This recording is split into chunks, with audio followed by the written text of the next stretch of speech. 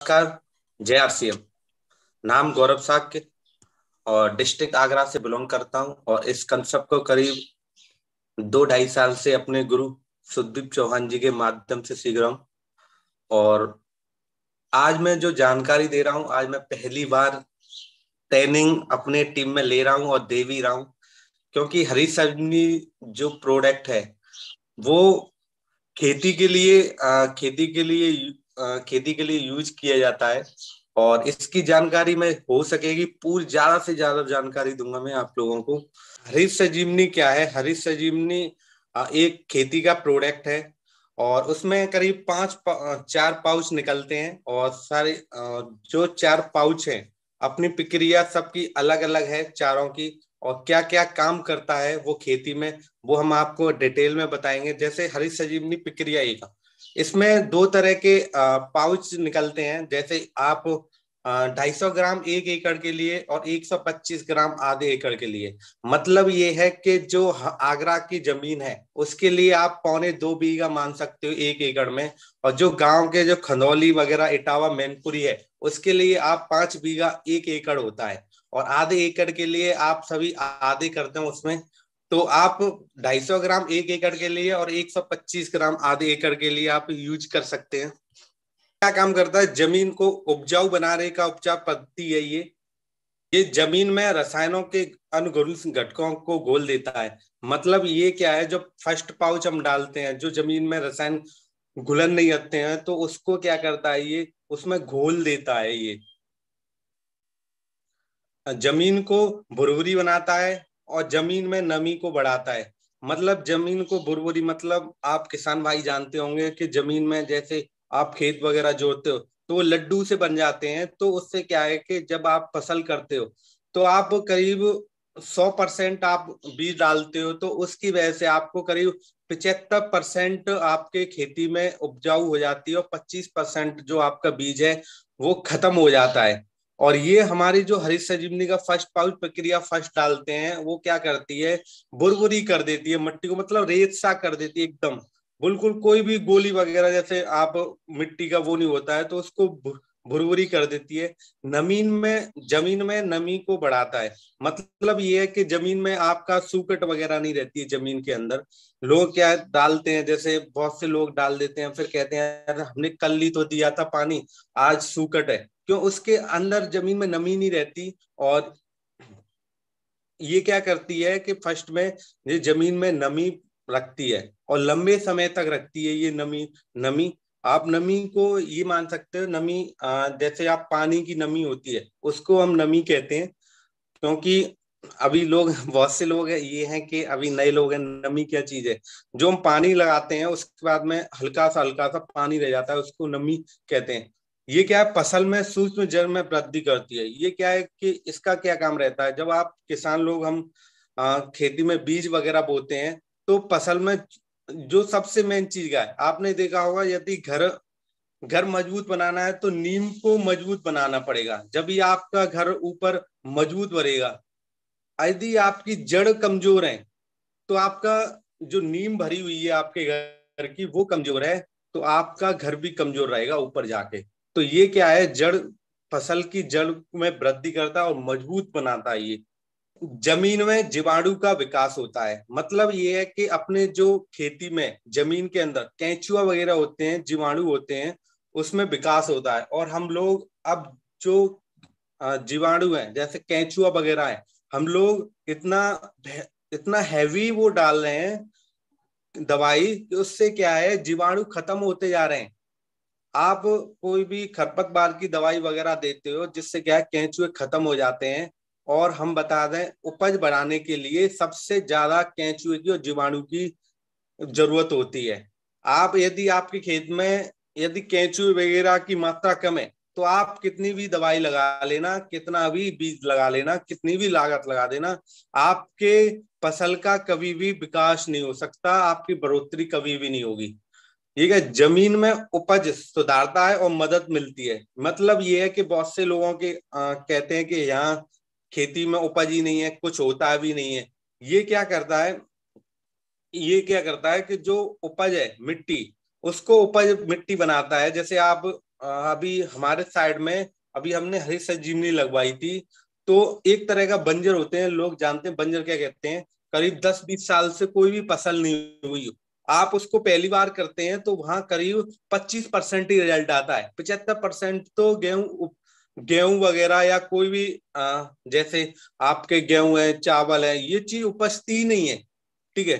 तो इसमें क्या करता है ये उपज में मदद करता है ज़मीन में ऑर्गेनिक बढ़ाता है और ज़मीन में नाइट्रोजन की स्थिर करने में मदद मदद मिलती है। मतलब नाइट्रोजन क्या होता है नाइट्रोजन क्या है पेट के लिए बहुत ज़रूरी है। जैसे हमारे शरीर के लिए खान पीन बहुत ज़रूरी है जैसे पौधे को बढ़ने के लिए नाइट्रोजन की बहुत ज़रूरत है।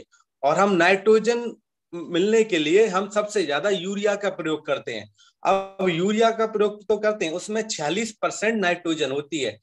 छियालीस परसेंट नाइट्रोजन तो पेड़ के लिए बढ़िया रहती है, हम लोगों के लिए भी सही है जब पेड़ को मिल रही है नाइट्रोजन। आपके यूरिया के गट्टा पर साफ़ साफ़ लिखा रहता है, फोर्टी सिक्स परसेंट नाइट्रोजन।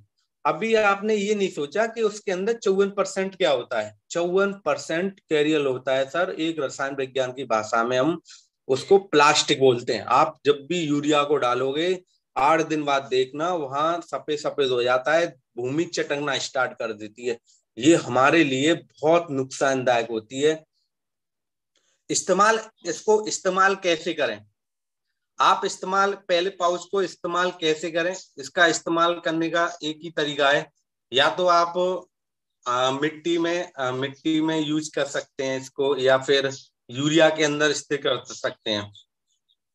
इसमें लिख रहा है कि किसी भी रासायनिक खाद के साथ मिलाकर दे सकते हैं। मतलब ये है कि जैसे कोई घुलनशील पदार्थ हो, जैसे आपका यूरिया है, आपका या मिट्टी है, ठीक है, आप उसमें दे सकते हैं। जैसे 30 से 40 किलो सूखी मिट्टी के साथ मिलाकर दे सकते हैं। ये ट्रिप इरिगेशन द्वारा भी दे सकते हैं इसको, हर को। हरित ज़मीन में हरित सजीवनी प्रकृति एक देने वाला, देने के बाद पानी देना आवश्यक है। आप जब पहला स्टेप देते हैं तो उसको हम सूखे में नहीं दे सकते हैं। आप जैसी हरित सजीवनी को पहला स्टेप देते हैं तो आपको उसके बाद या तो पानी के साथ में दें या फिर पानी लगा के उसको दे के पानी ज़रूर लगाएँ। अब इसमें प्रक्रिया दो मतलब दूसरा पाउच निकलता है। इसमें सौ ग्राम एक एकड़ के लिए और पचास ग्राम आधे एकड़ के लिए। मतलब ये है कि सौ ग्राम का पाउच निकलता है, वो एक एकड़ के लिए होता है। यदि आप एक बीघा के करीब दे रहे हो आगरा के हिसाब से तो आधा एकड़ हो गया, करीब पचास ग्राम उसमें दे सकते हैं। ये क्या करता है, फ़सल को संतुलित वृद्धि में उपचार की पद्धति है। जैसे आप जैसे आप ये देख रहे हो, इस्तेमाल के लाभ। आप पौधा देख रहे हो। ये क्या है फ़सल में संतुलित वृद्धि में, संतुलित वृद्धि होती है इसकी। पत्तों के आकार में वृद्धि होती है। मतलब ये है कि आपने करा होगा कि किसी के पत्ते सुकड़ से जाते हैं। तो ये क्या है? पत्तों के आकार में वृद्धि होती है। प्रकाश प्रकाश अपलेशन क्रिया तेज होने के अन्य निर्मित होती है। मतलब जड़ों में सक्ष विकास करने मदद करता है। हमने अभी बताया था कि यदि आपकी जड़ मज़बूत है तो पौधा भी बहुत बढ़िया होगा। या फिर जड़ कमज़ोर है तो पौधा कभी भी आगे बढ़ नहीं सकता है और बढ़ेगा भी तो जो फ़सल आप उम्मीद कर रहे हो वो आपको कभी फ़सल दे के नहीं जाएगा। प्रक्रिया थ्री। अब प्रक्रिया थ्री में क्या है कि डेढ़ सौ ग्राम एकड़ के लिए और पचहत्तर ग्राम एक पचहत्तर ग्राम एक एकड़ के लिए, आधे एकड़ के लिए होता है। ये क्या है? फूलों के उपचार पद्धति मतलब आपके फूल वगैरह आता है, जैसे गेहूँ में बाल वगैरह निकलती हैं, जैसे और भी जैसे आप किसमें यूज़ कर सकते हैं, जैसे आप बहुत सी चीज़ें, जैसे बाजरा है, मूली है, मेथी है, पालक है, धनिया है टमाटर है, बैगन है, मिर्ची है, शिमला मिर्च है, भिंडी है, ये सारी चीज़ में आप यूज़ कर सकते हो उसको, और ये फूलों के उपचार के लिए होता है, जब आपका, आप गाँव की भाषा में बोलते हैं कोत जब कोत क्या होता है जब फ़सल निकलती जैसे आपके गेहूँ में थोड़ा थोड़ा से बाल दिखना स्टार्ट हो जाती है जब करीब ये लगता है इसके इस्तेमाल के क्या लाभ है? इस्तेमाल का क्या लाभ है? इसमें फ़सल की शाखाएँ बढ़ती हैं मतलब फ़सल की शा, बिल्कुल शाखाएँ बढ़ती हैं आपकी और फ़सल में ज़्यादा से ज़्यादा मादा फूल का निर्माण होता है और आपको पता होगा फ़सल में सबसे ज़्यादा मादा फूल का निर्माण होता है क्योंकि मादा फूल हमें चाहिए। फ़सल में कार्बन डाइऑक्साइड और नाइट्रोजन को संतुलित रखता है। अभी हमने बताया था कि सबसे ज़्यादा फ़सल में ज़रूरत है। कार्बन डाइऑक्साइड और नाइट्रोजन की बहुत ज़रूरत है। और नाइट्रोजन को ये क्या करता है? संतुलित रखता है। हम लोग क्या करते हैं? जैसे एक फ़सल कर दी, जैसे आपने देखा हो गेहूँ वगैरह में। हमने पहले पानी पर दे देते हैं यूरिया। क्यों? नाइट्रोजन की वजह से। उसको दिखता है, यार, ये कमज़ोर सा है। फिर हम दूसरे तीसरे पानी फिर यूरिया यूरिया दे देते हैं। लास्ट में भी ये दिखता है, यार, इसमें यूरिया की कमी रह गई है। ये क्या करता है अपने? नाइट्रोजन को संतुलन रखता है। मतलब नाइट्रोजन की मात्रा 24 घंटे खेत में रखता है ये तो हमें इसकी ज़रूरत पड़ती ही नहीं है। यूरिया वगैरह की इसमें ज़रूरत पड़ेगी नहीं। ये क्या है? फ़सल की प्रतिकूल परिस्थितियों में फूल और पत्तों को थामने की क्षमता बढ़ाती है। मतलब प्रतिकूल परिस्थितियों में मतलब आप परिस्थितियों में जैसे आपके फूल पत्तों और थामने की क्षमता बढ़ाती है। ये प्रकृति फोर।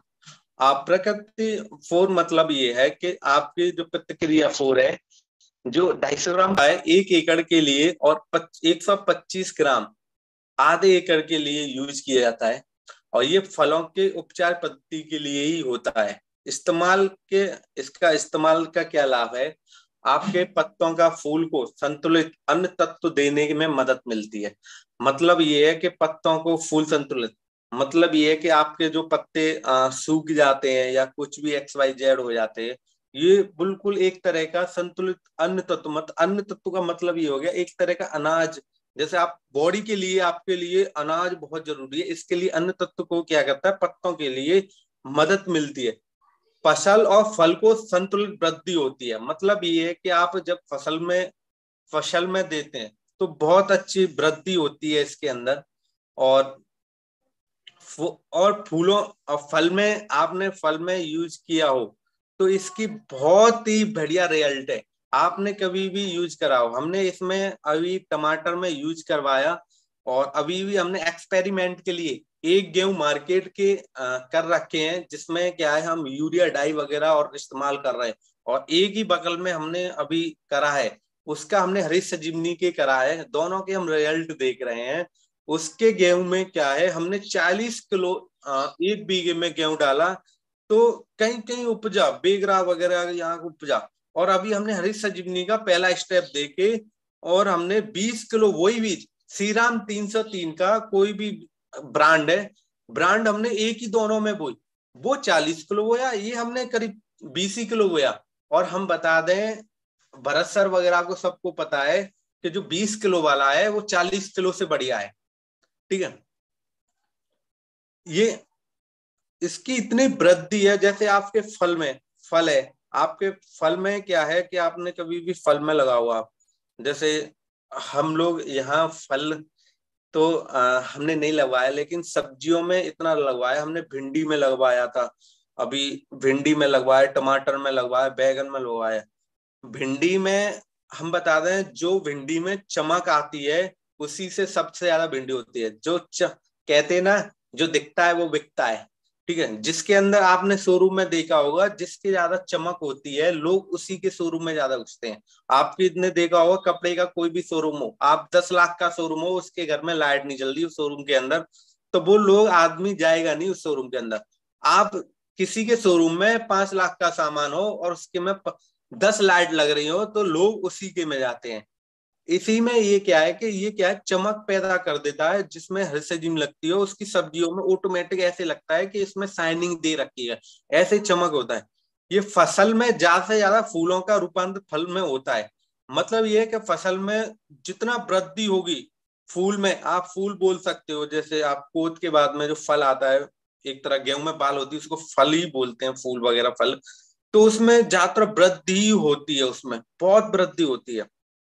जैसे फल में जल्दी भी प्राकृतिक रूप में पकते हैं या फ़सल में पानी के वृद्धि के बीच संतुलन बना, बनाकर पत्तों की गिरावट को नियंत्रण रखता है। मतलब आपने देखा होगा कि जैसे आपने अभी जो फ़सल है, फ़सल में पानी की वृद्धि के बीच संतुलित बना के पत्तों को गिरावट मतलब पत्ते क्या है, गिर जाते हैं, जैसे मुरझा जाते हैं, सूख के गिर जाते हैं, झर भी जाते हैं। इनको क्या है, ये पत्ते ना सूखने देता है, न गिरने देता है न सिकुड़ने देता है। ये क्या करता है? बिल्कुल गिरावट, बिल्कुल नियंत्रण रखता है। जैसे आप आप जब तक फ़सल में आप स्टार्टिंग से करोगे, जैसे ही लास्ट में मिलेगी।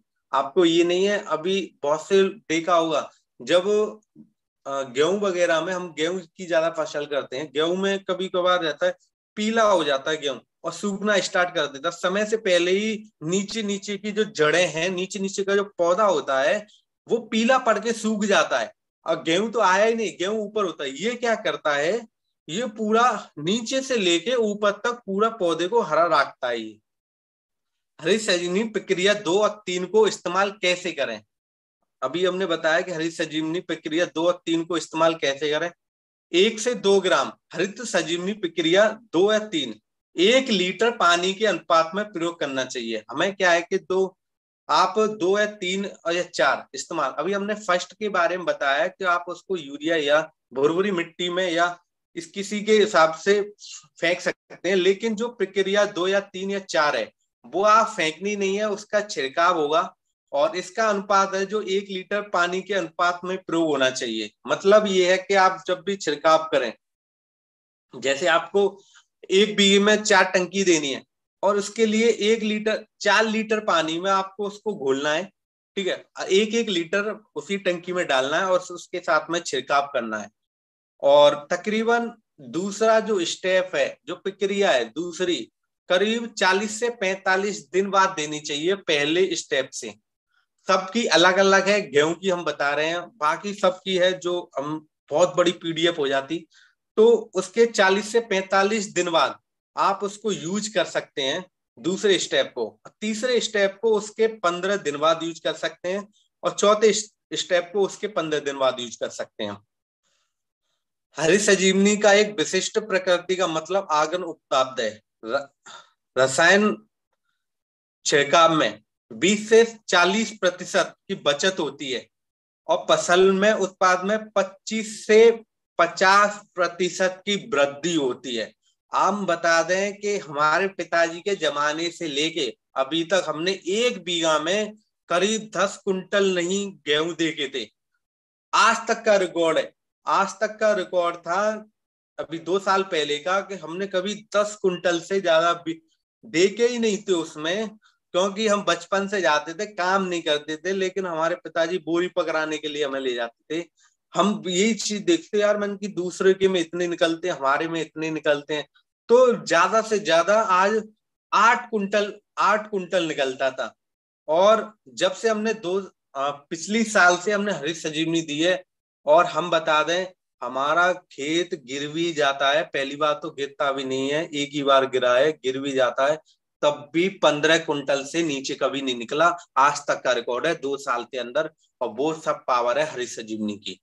और किसी के जैसे उपज नहीं बढ़ती है। तो आप हरी सजीवनी दोगे, यदि आपके खेत में पाँच कुंटल गेहूँ वगैरह या कुछ भी हो रहा है, आप हरी सजीवनी को दो, कम से कम आपके 50 परसेंट, करीब 25 से 50 परसेंट ऑटोमेटिक वृद्धि हो जाती है।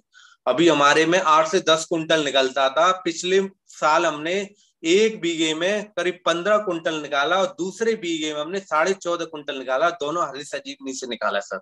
ये क्या है? मानव पशु, पक्षी और पर्यावरण के लिए पूरी तरह से सुरक्षित है।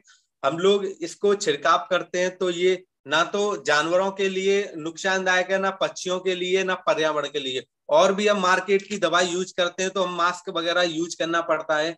क्योंकि उसमें और हम देखा होगा कि आपके फ़सल में यदि किसी भी फ़सल पर लग जाती है तो जब तक या तो हम पंद्रह दिन उसको घास वगैरह या उसको फ़सल को, पशु को नहीं खिला सकते हैं। या फिर उसमें यद तक जब तक हम कहते हैं चौमासे वगैरह में जो सर, बरसात का मौसम आता है तो हम उसमें बहुत से लोग बोलते हैं, जैसे चारा वगैरह आता है पशु के लिए तो हम बोलते हैं जब तक तो ऊपर का पानी नहीं पड़ेगा, जब तक तो उसको चारे को नहीं खिला सकते। लेकिन इसका कोई भी साइड इफ़ेक्ट नहीं है, ना पस, ना पक्षियों के लिए, ना पशु के लिए, किसी के लिए भी नहीं है। निर्देश, हरित सजीवनी प्रक्रिया दो या तीन का छिड़काव करते समय ज़मीन गीली होनी चाहिए। आप जब भी आप दो या तीन या चार का छिड़काव करें तो ज़मीन में नमी होनी चाहिए और गीली होनी चाहिए। आप सूखी में ना दें, ज़मीन में गीली तो छिड़काव के, यदि आपकी गीली नहीं है तो छिड़काव के तुरंत पानी देना ज़रूरी है। यदि आपके, यदि आप नहीं, उसकी वजह से नहीं दे पा रहे हो और आपका टाइम हो जाता है चालीस से पैंतालीस दिन तो आप ऐसा करें, उसको दवाई को दे तुरंत ही पानी लगा दें। आप सूखे में ना करें, क्योंकि सूखे में ये बिल्कुल काम नहीं करती। बीस परसेंट काम करती है और नमी में हंड्रेड परसेंट काम करती है। और इसके बेहतरीन रिज़ल्ट के लिए आप सुबह दस बजे से पहले छिड़काव करें और दिन में ना करें, बिल्कुल ग्यारह बजे के बाद बिल्कुल ना करें। और यदि आपके पास में सुबह टाइम नहीं है तो शाम को पाँच बजे के बाद में छिड़काव करें।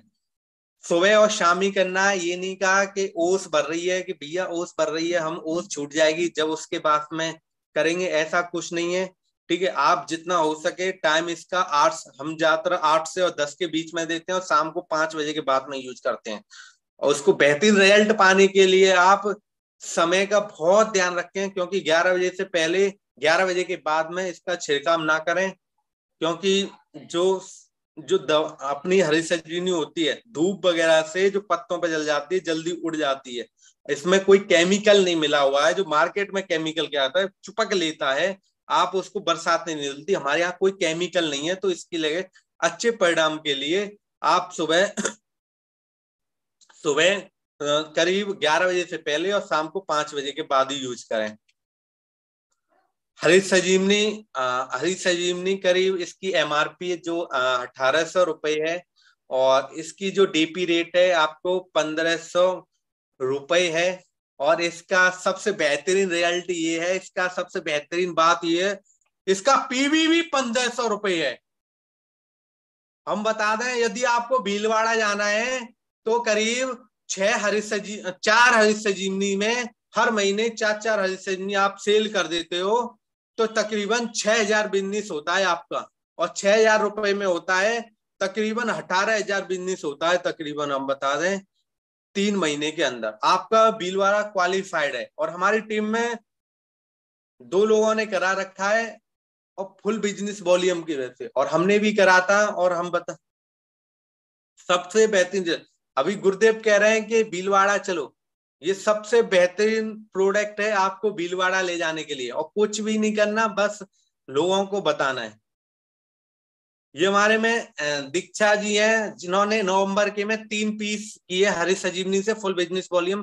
करीब साढ़े चार हज़ार बिज़नेस मिला है हरी सजीवनी से। Thank you J R C M, Gurudev, over to Gurudev. Ji thank you so much sir thank you so much आज की मीटिंग के लिए आप सर के लिए कैसी ताली बजा सकते हैं? एक बार ताली बजा दिखा सकते हैं हम लोग? बहुत शानदार क्लिपिंग सर के लिए। आप सभी के